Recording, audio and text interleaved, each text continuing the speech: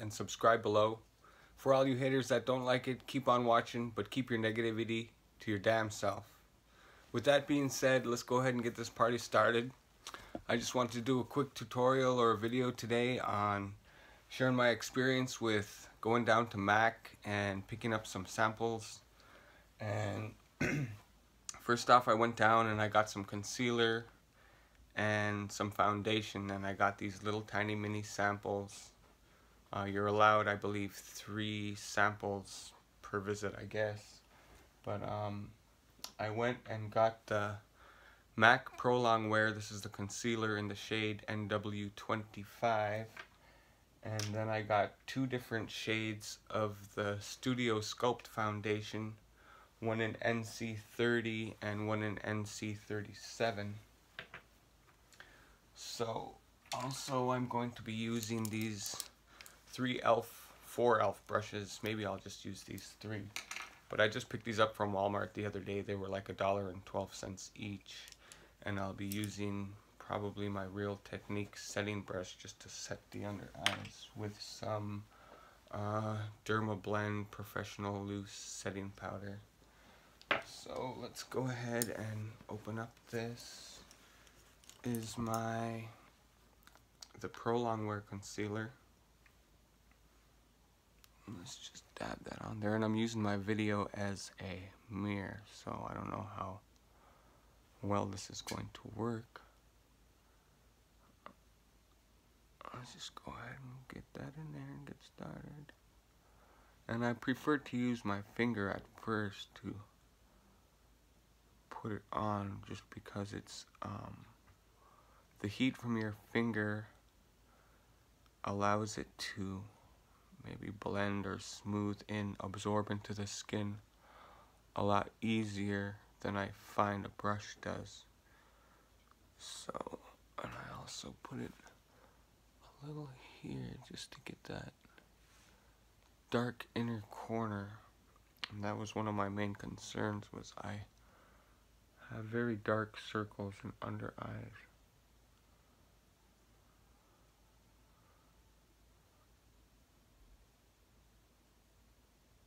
Have put a little too much there. But let's just go ahead and keep on applying. I think one of the things that is so funny is the faces that you make when you're doing this. Uh, sometimes it cracks myself up, and I do have really big, baggy under eyes, and I've had these all my life. So I really don't think that there's anything I can do about it.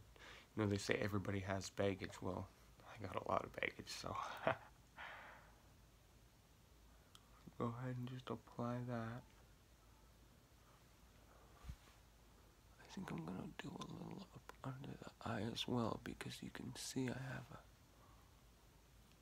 a, a lot of redness and darkness all around my eyes. And I'm gonna try to make this a quick video. It's just an everyday, natural men's makeup, no makeup, makeup look, I guess. Let's try to blend that out a little more with this brush, just to see how that works. Uh, get right under the under eye.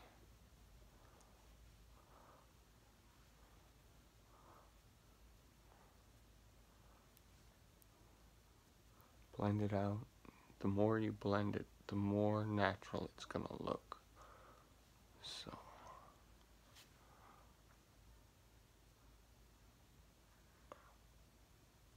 have a lot of elasticity in my skin.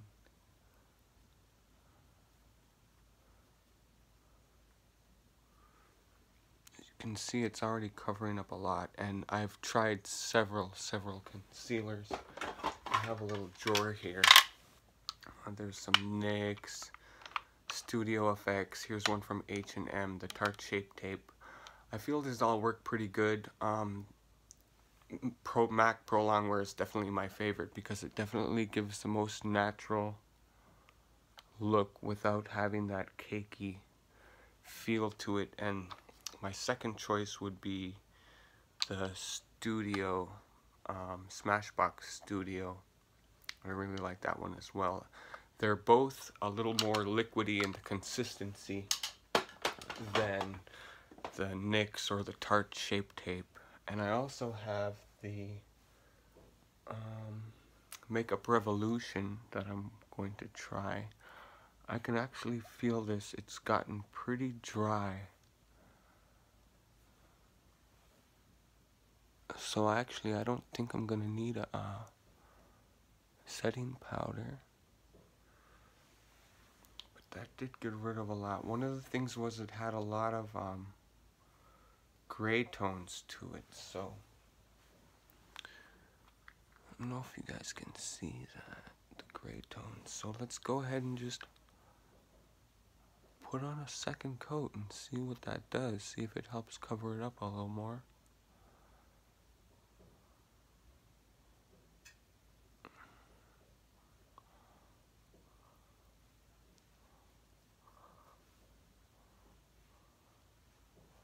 This was the shade NW25. I went down and got matched. Uh, the lady, I believe her name was Taylor, she was really nice. And I had actually went back a second time and I purchased this. I'm using my sample, but I actually purchased the purchased one because I liked it so much.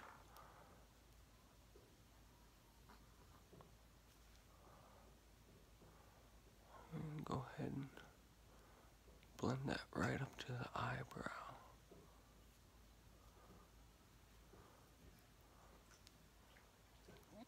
Now it's looking a little white, uh, a little crazy, but it does oxidize a little bit. Let's go ahead and get the other eye.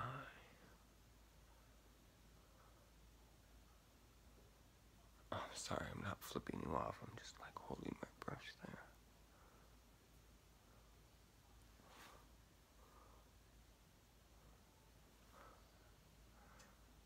And this is one of my very first makeup tutorials, or get ready with me, I guess, videos, vlog. Um, not too much of a chatty one, but we'll get into that more later on.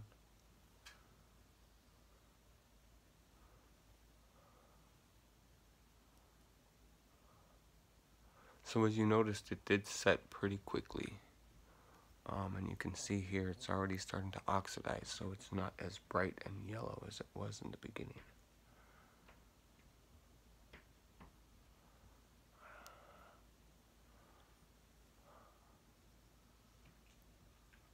Do have a little on my eyelids, um, my eyelashes. can just wipe that off with a wipe later. But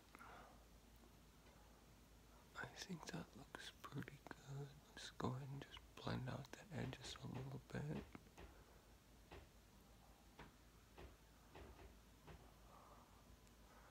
I'm being a little rough. Um, it's nothing too special. I'm just trying to apply it on there. So, I'm not liking that area there. I'm to go ahead and add a little tiny bit more to these lines here.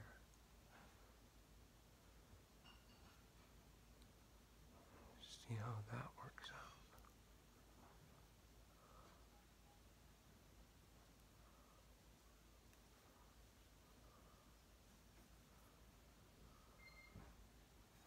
I just took it off and then I just placed it back in my eye. It's a little hard with this um with this setup. I'm using my cell phone and I'm also using it as a mirror. So there is a little tiny bit of a delay and like I said before, this is my very first video. So bear with me, y'all get the point. But what, what I'm trying to say or get the message across is you don't have to go out and spend 50 or $75 to get some good high-end um, makeup. If you want to try it out, you know, go go on down there and ask for some samples. It doesn't hurt. You know, I've heard of people having like um, incidences where they have uh, a service provider that's not very friendly or whatever. But in my case, I've been very lucky and I've had very nice um, people help me out down there. So I've had a good experience with them so far.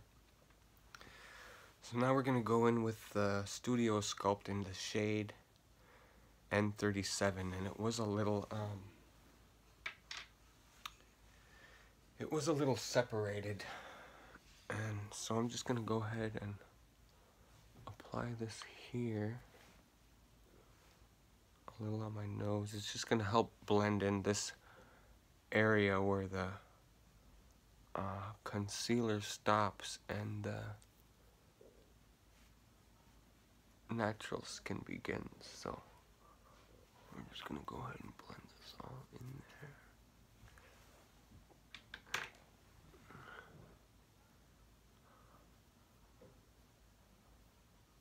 and get it around your nose where you get the dark or the redness areas. A little bit underneath.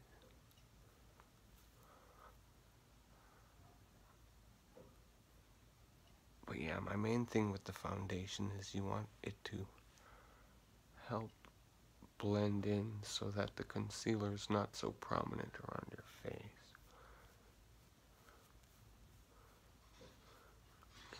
Here seen people like even put it on their ears which I find if you're going out maybe at night for a look, you'd want to do that, but for right now, we're just doing a quick little demo. Trying to cover up some of these little imperfections, maybe just give yourself a, you know, a little more consistency in the color of your skin. So I'm just about gonna finish this up here. I'm just applying it basically like I would any uh, moisturizer or lotion just to get it all over the skin there. Mm, let's do a little tiny bit right above the eyebrows.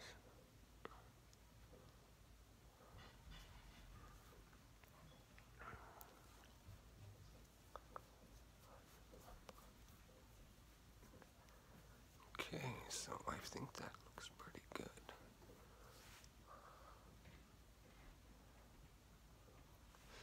You can actually go ahead and put it on top of your concealer as well, and that will have you more even of a, uh, not flawless finish, but a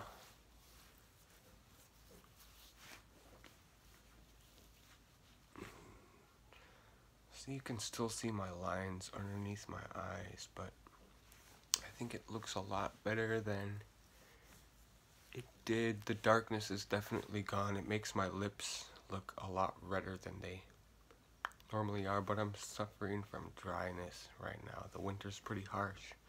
And I have about one minute left because now I'm only allowed 15 minutes uh, per video on my YouTube station, so I was gonna go ahead and set my under eyes really quick just keep it from creasing.